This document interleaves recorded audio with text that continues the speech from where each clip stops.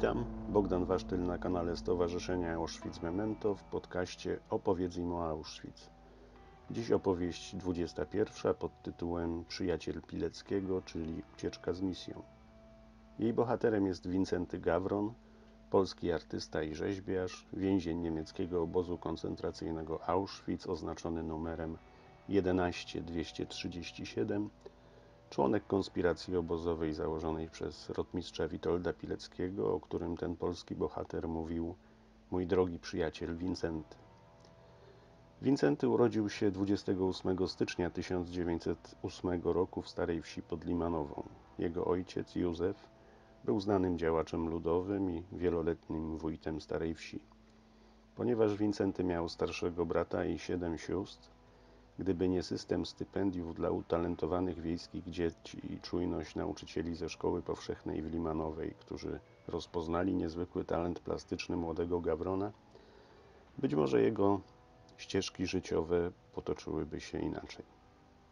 Dzięki wsparciu państwa Wincenty mógł podjąć naukę w Państwowej Szkole Sztuk Zdobniczych w Lwowie, a potem w Państwowej Szkole Sztuk Zdobniczych i Przemysłu Artystycznego w Krakowie. Od 1935 roku Gawron studiował grafikę na Akademii Sztuk Pięknych w Warszawie. Został przyjęty od razu na drugi rok. W tym czasie na życie zarabiał tworząc projekty pocztówek i ilustracje w czasopismach. Podjął także pracę w Towarzystwie Ochrony Sztuki Ludowej oraz w Ministerstwie Spraw Wojskowych. Dobrze rozwijającą się karierę przerwała wojna. Młody grafik wyjechał z Warszawy i wrócił w rodzinne strony. Zajął się projektowaniem witraży Siewca i Polonia Rediviva dla limanowskiego kościoła. Większość czasu poświęcał jednak działalności konspiracyjnej. Został członkiem Związku Czynu Zbrojnego i w swoich rodzinnych stronach organizował bojowe komórki na terenie powiatu limanowskiego. Działalność patriotyczna Związku została przez Niemców zauważona i w wyniku intensywnego śledztwa 18 stycznia 1941 roku doszło do fali aresztowań. 20 konspiratorów trafiło do więzienia w Nowym Sączu. Był wśród nich Wincenty Gawron, którego zatrzymano w mordarce w domu jednej z sióstr. Pięć tygodni brutalnego śledztwa w nowosądeckiej katowni, ponad miesiąc straszliwego głodu w więzieniu w Tarnowie, wreszcie transport na zachód. 5 kwietnia 1941 roku Gawron przekracza bramę KL Auschwitz i staje się numerem obozowym 11237, czyli nikim. Wpada w wiry innego świata, w którym system stworzony przez niemieckich nazistów ma go szybko pozbawić ludzkiej godności, ludzkich odruchów i przede wszystkim wiary, że może przetrwać. Choć Gawron zapewne nie zdaje sobie sprawy z tego, że Niemcy wysłali go do Auschwitz nie po to, by żył, lecz by tam wykonano na nim wyrok śmierci, ma świadomość, że taki wyrok ciąży na nim za działalność przeciwko III Rzeszy Niemieckiej i okupacyjnym porządkom. Ma jednak dopiero 33 lata, sporo woli życia i planów na przyszłość, więc poddaje się temu, co niesie los. A los niesie chaos, pośpiech i monstrualne niemieckie inwestycje, które wymagają tysięcy rąk zdolnych do ciężkiej pracy ponad siły. Właśnie kończy się wielka akcja wysiedlenia przez administrację obozową kilkunastu tysięcy Polaków i Żydów, mieszkańców Oświęcimia i dziewięciu okolicznych wiosek. Pozostawione przez nich domy i zabudowania gospodarcze Niemcy chcą szybko rozebrać, by pozyskane materiały wykorzystać do budowy gigantycznego obozu koncentracyjnego Birkenau na terenie wsi Brzezinka. Los rzuca więc Gawrona do Abruch Komando, grupy roboczej zajmującej się rozbiórką pozostawionych przez wysiedlonych zabudowań. Praca jest ciężka i niebezpieczna, wykonywana bez zabezpieczeń, wyłącznie przy użyciu najbardziej prymitywnych narzędzi, często w biegu. Mordercze tempo robót niemal go, niemal go wykańcza. Gawron czuje, że zmierza prosto ku śmierci, aż któregoś dnia na apelu słyszy, że SS-mani szukają rzeźbiarzy. Wprawdzie nigdy się tą sztuką nie parał, ale zgłasza się i dostaje pracę w obozowej rzeźbiarni. Dobrą pracę, pod dachem, w cieple. Stolarze i rzeźbiarze to arystokracja wśród więźniów. W obozie trudno wyobrazić sobie lepsze miejsce do pracy i przetrwania. W rzeźbiarni Gawron szybko dochodzi do siebie, odzyskuje siły. Zauważa, że tutaj więźniowie zachowują się jak ludzie. Traktują się z szacunkiem, troską, starają się pomagać słabszym, którzy nie są w tak korzystnej sytuacji. Poznaje tam m.in. wielkiego polskiego rzeźbiarza Ksawerego Dunikowskiego oraz wybitnego sportowca Zakopiańczyka Bronisława Czecha. O Czechu w obozie jego przyjaciel z Zakopanego, więzień z pierwszego transportu Józef Hordyński powie po wojnie. Bronek, członek obozowej konspiracji Witolda Pileckiego, potrafił tak kombinować, że nigdy nie jadł paskudnego żarcia z obozowego kotła, a wszystkie nadwyżki, jakie miał, oddawał potrzebującym więźniom. Gawron szybko idzie w ślady Czecha i chętnie, nawet z narażeniem siebie, pomaga innym. W czasie pracy projektuje dla Niemców noże do rozcinania papieru i zdobnicze wzory, maluje portrety i krajobrazy, tworzy świąteczne pocztówki, drzeworyty o tematyce historycznej i przyrodniczej. Jednocześnie w ukryciu rysuje karykatury SS-manów i poruszające naturalizmem portrety więźniów. Pokazuje te prace kolegom, których lojalności może być pewny i przez nich trafia do obozowej konspiracji. Zostaje zaprzysiężony i w strukturach Związku Organizacji Wojskowej Pileckiego usytuowany wysoko, w czwartej górnej piątce. Pileckiego, który w obozie przebywa pod nazwiskiem Tomasza Serafińskiego, poznaje osobiście. Trudno znaleźć przyczynę, dla której tak szybko się zaprzyjaźniają, ale ich przyjaźń jest faktem. Śpią na pryczy blisko siebie, dużo rozmawiają, ufają sobie. W 1942 roku rozbudowywana na wschód od Oświęcimia fabryka Bunawerke potrzebuje coraz więcej darmowych robotników. Pracy niewolników wymagają także liczne powstające przy KL Auschwitz przedsiębiorstwa, warsztaty, gospodarstwa rolne. Ponadto Niemcy wykorzystują więźniów przy robotach komunalnych. Komendant obozu Rudolf Hess musi dostarczać rozpędzającej się wokół obozu i miasta machinie przemysłowej idącą w dziesiątki tysięcy ludzi darmową siłę roboczą, więc masowe zabijanie zdolnych do pracy więźniów przestaje być korzystne dla III Rzeszy. To niejako wymusza na komendancie Auschwitz zmianę kar za ucieczki. Hess do minimum ogranicza odpowiedzialność zbiorową, a kary śmierci hojnie wymierza już tylko w przypadku zabicia któregoś z SS-manów czy prób masowego opuszczenia obozu. Represje, zgodnie ze sprawdzonym już sposobem, dotykają odtąd wyłącznie pochwyconych zbiegów oraz wyłapywanych i osadzonych w obozie członków ich rodzin. Niezwykle brutalnie są wciąż traktowani polscy więźniowie polityczni, zwłaszcza ci podejrzewani o udział w ruchu oporu. Od lata 1941 roku liczba egzekucji w obozie szybko rośnie. W gestii Maksymiliana Grabnera, szefa obozowego gestapo, znajduje się blok 11, zwany blokiem śmierci. A kiedy gestapo umieszcza tam sąd doraźny dla okręgu katowickiego, komendant Hess traci nad nim bezpośrednią kontrolę. Aresztowani przez gestapo ludzie mogą trafiać do jego cel bez uprzedniej rejestracji w obozie. Codziennie do Auschwitz napływają listy z, nazwiskami więźniów, przeciw którym toczyły się różne śledztwa wrogów Rzeszy, których należy niezwłocznie zgładzić. Także w samym obozie wszczynane są śledztwa przeciwko członkom obozowej konspiracji. Politysche Abteilung, czyli obozowe gestapo, stara się zdusić w zarodku każdy przejaw samoorganizacji więźniów. Od wiosny 1942 roku Auschwitz nie jest już wyłącznie obozem koncentracyjnym, w którym izoluje się i wykańcza głównie Polaków, zidentyfikowanych jako wrogowie III Rzeszy. Staje się też obozem śmierci, centralnym miejscem zagłady europejskich Żydów. Mimo pozornie bezpiecznego azylu, którym wydaje się stolarnia, koszmarne wieści o obozowej rzeczywistości docierają i tam. Gawron, artysta, nadwrażliwiec, nie potrafi sobie z tym poradzić. Dramaty innych przeżywa jak swoje, nie umie zaakceptować tego upiornego świata stworzonego przez niemieckich nazistów, nie godzi się z nim, nie potrafi się wkomponować. Jest w coraz gorszym stanie psychicznym, zaczyna chorować.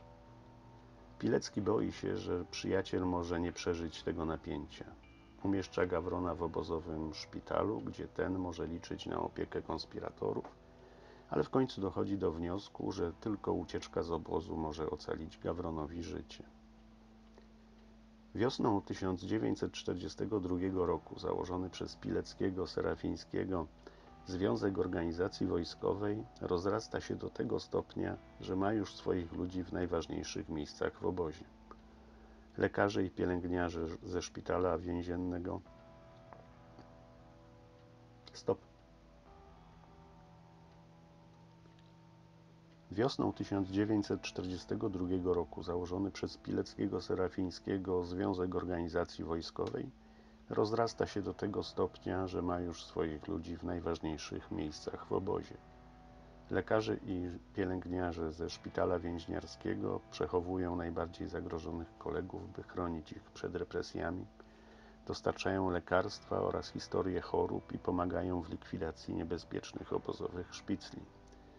Z ZOW współpracuje Arbeitsdienst Otto Kissel, niemiecki więzień oznaczony numerem 2, który decyduje o przydziale więźniów do komand pracy. To umożliwia umieszczanie członków ZOW w newralgicznych miejscach, są pisarzami w obozowej kancelarii, a nawet w Politische Abteilung, czyli Gestapo, dzięki czemu często udaje się zdobywać informacje o zamiarach władz obozu i Gestapo wobec poszczególnych osadzonych. Dotychczas ZOW nie popierał ucieczek, ale teraz, żeby chronić rodziny zbiegów, postanawia je kontrolować i sam organizować. Cenny okazuje się kontakt, który obozowa konspiracja nawiązuje z działającą w pobliżu partyzantką Związku Walki Zbrojnej Armii Krajowej. Według ustalonych zasad uciekać mają przede wszystkim ci, których rodziny są dla Niemców nieosiągalne. Zaufani uciekinierzy mają przenosić informacje dla dowództwa Armii Krajowej, a potem, jeśli zechcą, dołączać do partyzantki. W tym mniej więcej czasie do Pileckiego i Gawrona trafia poufna informacja z obozowej kancelarii.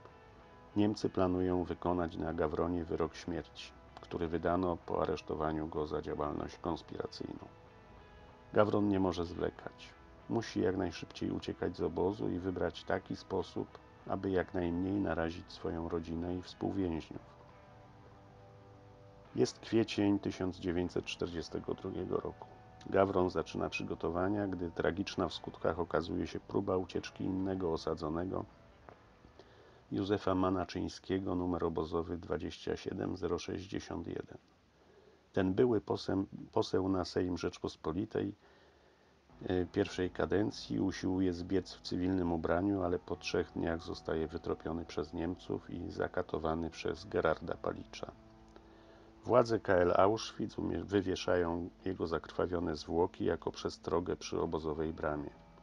Gawron patrzy na nie z przerażeniem, ale nie ma wyboru. Jego determinację dodatkowo wzmaga myśl, że co najwyżej śmierć dopadnie tylko jego. Od stycznia 1942 roku Niemcy nie przeprowadzają już wśród więźniów wybiórki dziesięciu za jednego. Pilecki, zgadzając się na ucieczkę Gawrona, daje mu konspiracyjne zadanie. Ma poinformować Komendę Główną Armii Krajowej o okrutnym i niezgodnym z żadnymi normami traktowaniem jeńców sowieckich w obozie oraz o odbywającej się w Birkenau masowej zagładzie Żydów. Wincenty ma również przekazać dowództwu informacje o sprawnie funkcjonującym w obozie ruchu oporu oraz o jego gotowości do walki, gdyby działające na zewnątrz partyzanckie ugrupowania podjęły próbę wyzwolenia obozu. Pilecki Serafiński bardzo na to liczy. Od dłuższego czasu opracowuje plany i sam przygotowuje Związek Organizacji Wojskowej na podobną ewentualność. Gawron dodatkowo pospiesznie i potajemnie robi notatki i szkice z życia obozowego, dokumentujące niemieckie zbrodnie. Przechowuje je w płaskorzeźbie z lipowych desek, wykonanej specjalnie dla niego przez jednego z sześciu braci kupców, pochodzących z Poronina, również członków organizacji konspiracyjnej. połowie maja 1942 roku dzięki dobremu kontaktowi z kapo w Harmężach Gawronowi udaje się załatwić przydział do tamtejszego komanda. Ma tam nawiązać kontakt ze Stefanem Bieleckim numer obozowy 12692, który na polecenie Pileckiego również przygotowuje się do ucieczki. Bielecki jest w podobnej sytuacji. On również dostał poufną informację o tym, że Niemcy chcą wykonać zaległy, ciążący na nim wyrok śmierci. Ucieczka spod obozu Auschwitz wydaje się łatwiejsza. Przenosząc się do Harmensz, Wincenty przemyca pod pasiakiem zdobyczne cywilne ubranie i płaskorzeźbę z notatkami i szkicami. Podobóz we wsi Harmenże jest specyficzny. Rządzi nim kapo Mauer, który dba o swoich ludzi i traktuje ich po ludzku. Komanda pilnuje dziesięciu SS-manów, a więźniowie zakwaterowani są w dawnym dworku, którego drzwi i okna okratowano, gdy przekształcano go w obozowy blok. Farmężak Bielecki pracuje jako inżynier melioracji, projektuje śluzy i instalacje wodne dla stawów rybnych, więc dobrze poznaje okolice. Od wielu dni pod pretekstem dokończenia prac technicznych chodzi do mieszczącej się w dworku stolarni. Chce, żeby to wieczorne wychodzenie do stolarni było traktowane jako zwyczaj i uśpiło czujność strażników. Ma mu to pomóc, gdy będzie uciekał. Teraz instruuje Gawrona, że w stolarni jest wybite okno, przez którego kraty mogą się przecisnąć, a wieczorem na zewnątrz budynku nie ma jeszcze straży. W dodatku Bielecki poznał w harmężach niemieckiego pastora, również więźnia, człowieka głęboko wierzącego i szlachetnego, który, jak mówi, w razie czego może im pomóc. O ucieczkach z Auschwitz już Wam nieco opowiadałem w poprzednich odcinkach. Odsyłam do odcinka drugiego podcastu Opowiedzmy o Auschwitz pod tytułem 50 sekund od śmierci, odcinka trzeciego Niewolnik świętości, piątego Wierzyłem, że żyjesz, czternastego Pierwsza ucieczka, dziewiętnastego Żyje dzięki śmierci ojca. I dwudziestego Niosąc brzemię. Charakterystyczne dla dotychczasowych ucieczek z Auschwitz było to, że były one spontaniczne zrodzone z impulsu, chęci wykorzystania okazji, korzystnego zbiegu okoliczności. I miały jeden wspólny cel ocalenie życia uciekinierów. Ucieczka Gawrona i Bieleckiego jest inna. Została zorganizowana przez obozową konspirację nie po to, by ratować przede wszystkim uciekinierów, choć to oczywiście też.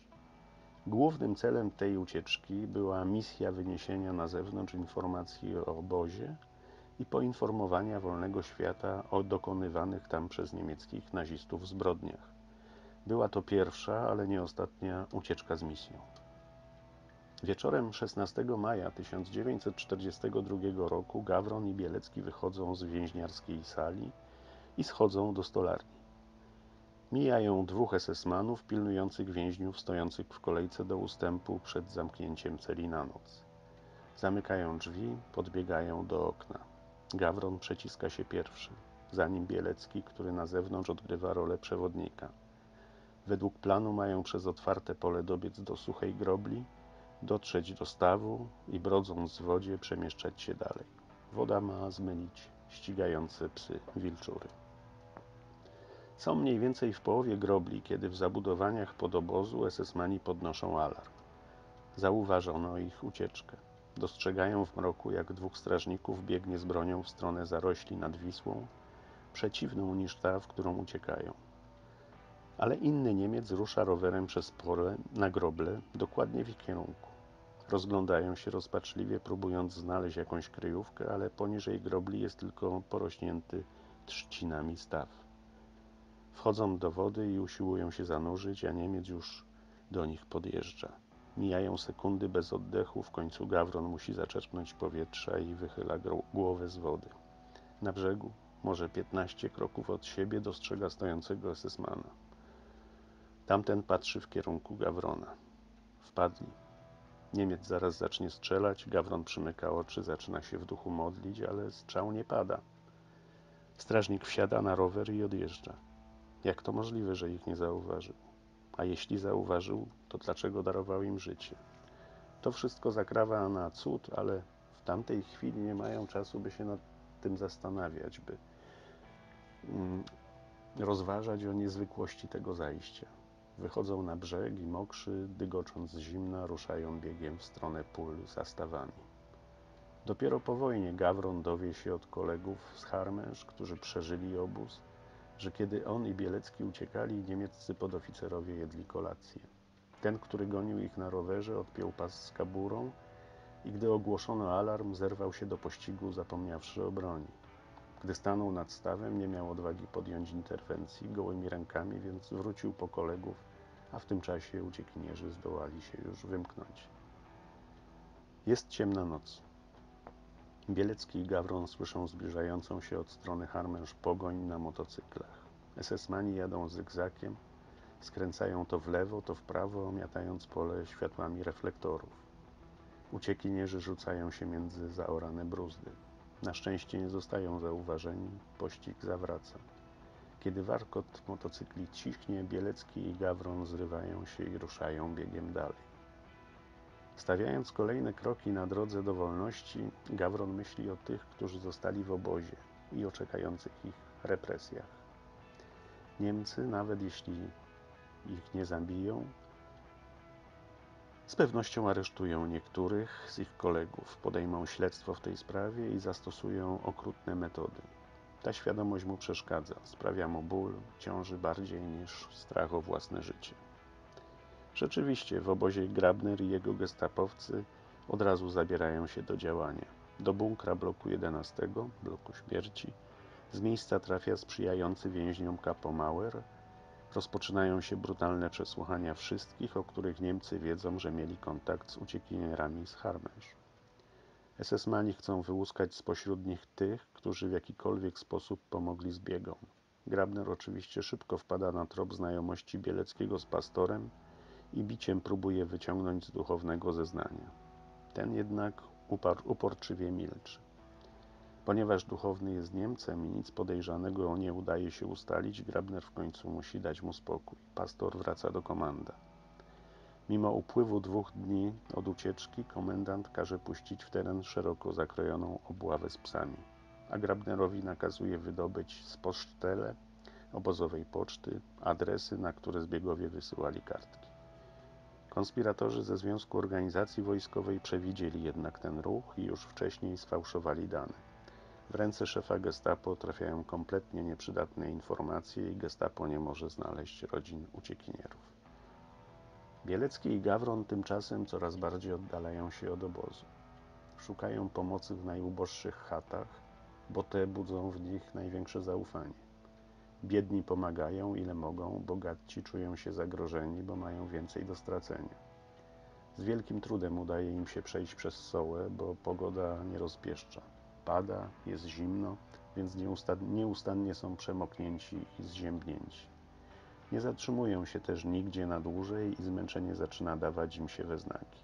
Dopiero po przekroczeniu skawy, która stanowi naturalną granicę generalnego gubernatorstwa i III Rzeszy Niemieckiej, czują, że najbardziej niebezpieczny etap ucieczki mają za sobą.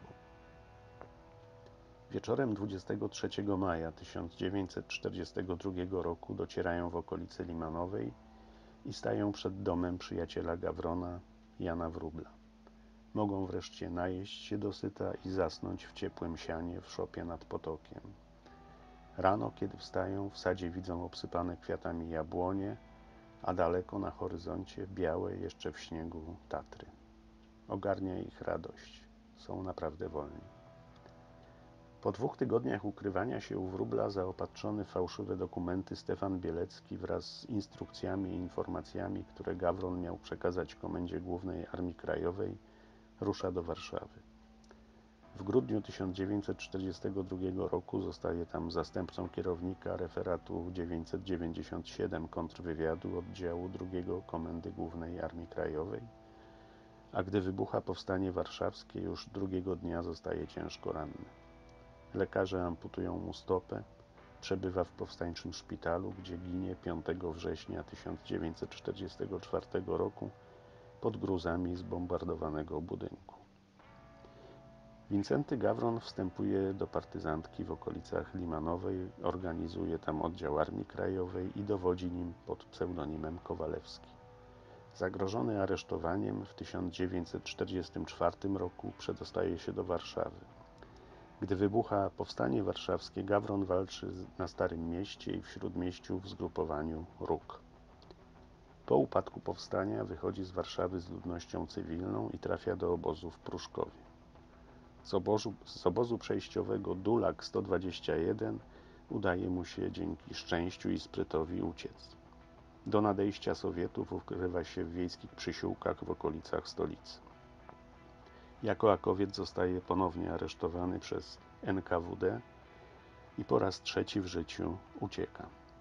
Wiosną 1945 roku Gawron przedostaje się na zachód, do Włoch, gdzie wstępuje do drugiego korpusu, generała Władysława Andersa.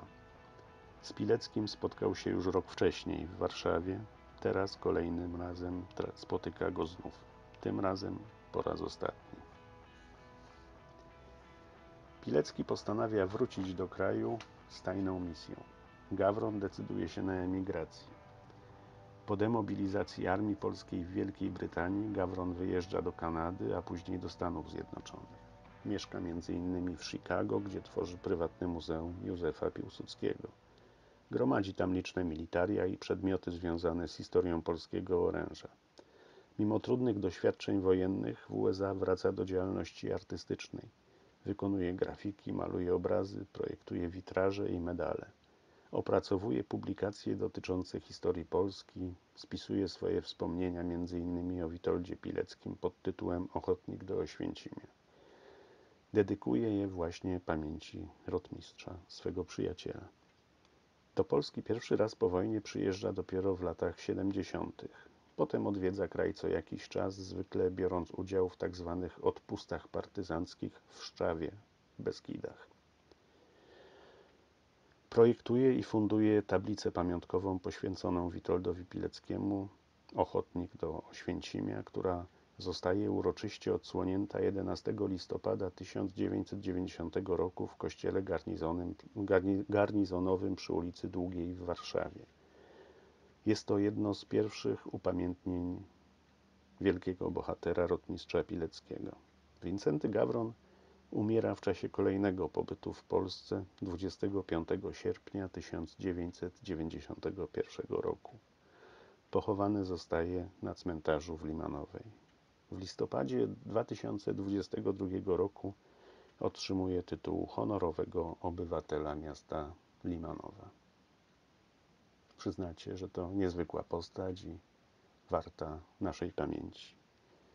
Jeśli zainteresowała Was ta historia, subskrybujcie, polecajcie znajomym, polubcie, udostępniajcie, bo tylko dzięki Waszej aktywności ten podcast będzie się rozwijać. Do usłyszenia.